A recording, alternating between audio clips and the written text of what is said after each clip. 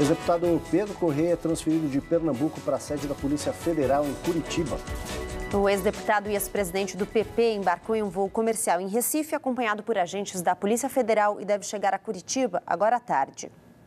Pedro Correia foi condenado no processo do mensalão e cumpria pena em regime semiaberto no interior de Pernambuco. Ao decretar a prisão, o juiz Sérgio Moro disse que o ex-deputado recebeu dinheiro de desvios da Petrobras durante o período em que foi julgado no processo do mensalão. Segundo o juiz, o dinheiro era uma espécie de mesada, paga ao parlamentar, aos familiares e a assessores. Registros de portarias de edifícios mostram que o ex-deputado do PT e ex-vice-presidente da Câmara, André Vargas, e dois irmãos dele estiveram pelo menos 28 vezes em escritórios do doleiro Alberto Youssef. Vargas e um irmão foram presos sexta-feira pela Operação Lava Jato. Uma das empresas usadas por André Vargas para receber dinheiro do doleiro Alberto Youssef declarou movimento de 125 milhões de reais entre 2012 e 2013, provenientes de contratos com órgãos públicos e empresas como a Caixa Econômica Federal, que agora estão sendo investigados. Por meio de sua defesa, o deputado André Vargas nega as acusações. O corpo do ex-senador, ministro da Justiça e presidente do Supremo, Paulo Brossar, é cremado em Porto Alegre. Jurista político de oposição ao regime militar, Paulo Brossar foi uma das vozes mais eloquentes contra a ditadura. Paulo Brossar morreu no fim de semana aos 90 anos de idade. O velório foi na sede do Palácio do Governo Gaúcho, em Porto Alegre. Entre as autoridades que compareceram estavam o vice-presidente Michel Temer. Gaúcho de Bagé e liberal de formação, Paulo Brossar começou a carreira como deputado estadual. Depois foi deputado federal e senador. Integrante do MDB, destacou-se na luta contra o regime militar.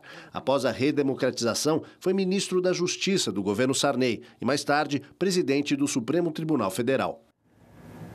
Os túneis da nova linha laranja do metrô, que vai atender bairros da zona norte de São Paulo, começaram a ser escavados hoje. Segundo o governador Geraldo Alckmin, metade do custo da obra, calculado em cerca de 9 bilhões de reais, será feito pela iniciativa privada. Com a nova linha do metrô, o tempo de viagem vai ser reduzido a um terço do atual. Uma viagem que é feita hoje em uma hora e meia de carro e de ônibus poderá ser feita em apenas 23 minutos e serão abertos 10 mil postos de trabalho diretos e indiretos com as obras do metrô. Uma linha é importantíssima, ela tem é, 15,9 quilômetros, né, quase 16 quilômetros, 15 estações e aqui vão sair dois tatuzões, dois shields simultâneos. E temos um desafio. Tem que estar operando, operando em 2020. Agora é a hora do esporte, sobrou pra gente, né? É, Cadu Cortez está de férias, então a gente representa ele aqui. Vamos tentar fazer direito aqui, vamos lá. O vôlei, hein? começamos pelo vôlei. A torcida do Cruzeiro lotou o Mineirinho e fez a festa com o tricampeonato da Superliga. Vitória sobre o SESI de São Paulo em uma única partida. O primeiro set foi dos visitantes, com 21 a 25. Mas aí, com mais de 14 mil pessoas apoiando, o Cruzeiro fez valer a melhor campanha de toda a competição.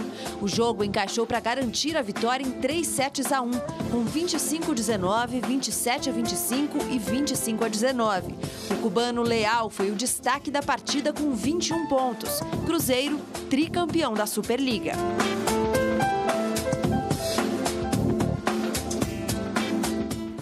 Da quadra a gente vai para o asfalto. No fim de semana teve maratona de Paris. Adivinha a nacionalidade do cara que venceu? E teve confusão também numa prova de ciclismo, também na França. Cerca de 54 mil corredores lotaram as charmosas ruas da capital francesa para a 39ª edição da prova. Todos eles viram o queniano Mark Korir, de 30 anos, vencer em 2 horas, 5 minutos e 48 segundos. Na prova feminina, deu Etiópia, com Meseret Mengistu, de 25 anos. No ciclismo, olha o desespero dos competidores da tradicionalíssima Paris-Roubaix, tendo que esperar o trem passar no meio da prova. Quem se deu bem foi o alemão John Degenkolb, que venceu depois de duros 254 quilômetros. Agora a gente vai para as piscinas. O Pinheiros Clube de São Paulo foi o grande campeão do troféu Maria Lenk, disputado no Rio de Janeiro. Em preparação para a Olimpíada do ano que vem, César Cielo ficou sem nenhuma medalha de ouro.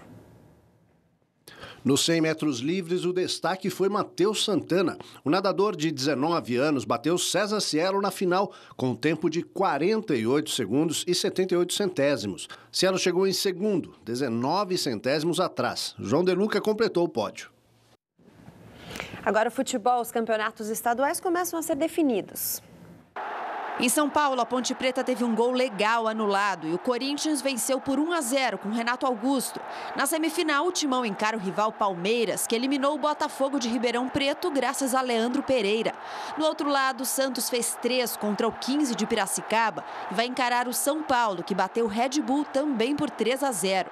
No Rio de Janeiro, já estamos nas semifinais, com jogos de ida e volta. O Fluminense fez 2 a 1 no Botafogo de um lado. Na outra chave, Vasco e Flamengo ficaram no 0 a 0. Em Minas, Atlético Mineiro e Cruzeiro empataram em 1 a 1 com Carlos e Arrascaeta. O jogo de volta é no fim de semana que vem. Chegamos ao Rio Grande do Sul. Brasil de Pelotas e Internacional ficaram no 1 a 1. Rafael Moura e Rafael Forcer foram os nomes dos gols. E o Grêmio saiu na frente. Opa. Ixi, teve gol, o gol, o Grêmio ganhou por 1 a 0. A gente fica devendo esse gol aí, hein? O Cadu deve estar tá rogando praga, né? É. Onde ele estiver, ele é. estará rogando esta praga. A culpa é do Cadu Cortez, sem dúvida. Jornal da Cultura, primeira edição, fica por aqui. Você quer saber mais sobre o Brasil e o mundo? Entra lá no nosso site, cmais.com.br barra jornalismo. Uma ótima tarde para você. Agora tem JC Debate, que hoje discute o combate à dengue e fala da campanha que a TV Cultura faz para alertar para os riscos da doença e dar dicas de como não deixar que o mosquito se reproduza, né? Uma boa tarde para você. Fique de olho aí na dengue. Até amanhã, meio-dia. Cultura, todos contra a dengue. Até amanhã.